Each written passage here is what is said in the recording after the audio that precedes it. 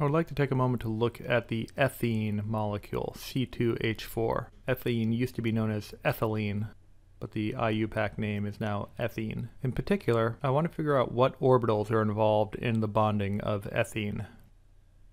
C2H4 has two carbons bonded to each other, and then two hydrogens bonded to each of the carbons, and to satisfy the octet rule, there is a double bond between the two carbons. Each of these carbons has three sites around the central atom, two single bonds and a double bond, which means VSEPR would say that each of these carbons has a trigonal planar shape. So drawing the Lewis structure is one thing, but if I were to draw the shape, I would show these hydrogens coming off at 120 degree bond angles from the carbon. If we have a trigonal planar shape, that means that each of these carbons has an sp2 hybridization one s orbital and two p orbitals blended together to make our trigonal planar shape. The third p orbital is just perpendicular to the plane here, sticking in and out of the screen. So if we want to look at what orbitals are overlapping, for the hydrogen and the carbon, that's going to be the s orbital for the hydrogen and the sp2 orbital for the carbon overlapping to make that bond. We call that straight overlap of a bond a sigma bond, and we use a lowercase sigma to indicate a sigma bond. So each of these carbon-hydrogen bonds is a sigma bond. I think what's more interesting is to look at that carbon-carbon double bond. If I'm to take a side view of it, what I would see is one carbon here, and that carbon would have an sp2 orbital sticking out of it. I have another carbon with an sp2 orbital sticking out. The other sp2 orbitals are involved with bonding with the hydrogen. I just want to focus on the carbon-carbon bond. When these orbitals overlap, that is a sigma bond. It's the most common type of bonding that we see between nonmetals. However, remember that in an sp2 orbitals, there are these p orbitals that are just sticking out that are perpendicular to them. So this is an unhybridized p orbital over here, and this is an unhybridized p orbital over here. In order to form the double bond in ethene, we have to overlap these p orbitals. But as you can see from their arrangement, it's really, really hard to get them to overlap. They kind of have to bend and do this strange kind of side-to-side -side touching it happens. It's just not as convenient and not as strong as the end-to-end touching that you see in a sigma bond. We call this side-to-side -side touching a pi bond. And it's not really a coincidence that pi bonding often happens between p orbitals.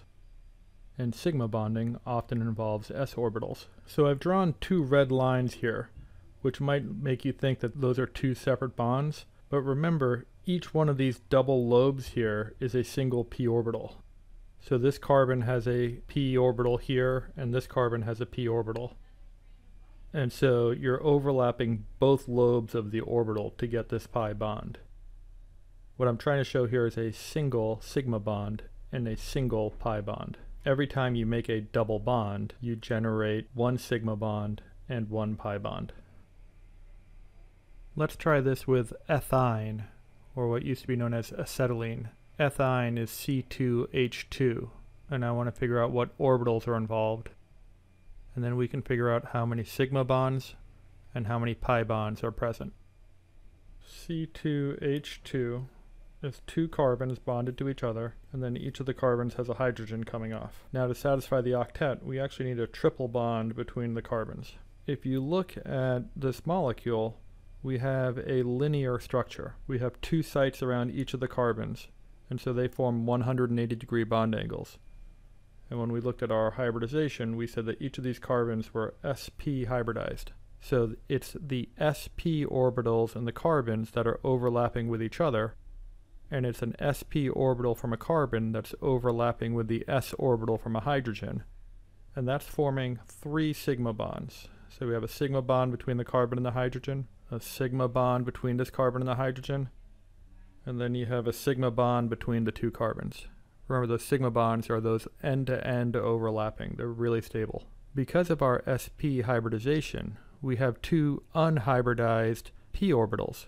Now those p orbitals would be perpendicular to the sp orbitals and perpendicular to each other. If you think of the sp orbitals on the y-axis, the remaining p orbitals would be on the x and the z axis. Those p orbitals are going to be involved in that side-to-side pi bonding. It's not as strong as a sigma bond, but when you have a pi bond, you usually have a combination of a sigma bond and a pi bond. In this case, we have multiple p orbitals that are overlapping. Because we have a triple bond, we would form the sigma bond as the initial bond, and then you would have two pi bonds that can form with the remaining p orbitals. So the molecule forms three sigma bonds and two pi bonds. That triple bond in the middle is a combination of one sigma bond and the two pi bonds just like the double bond before was a sigma bond and one pi bond.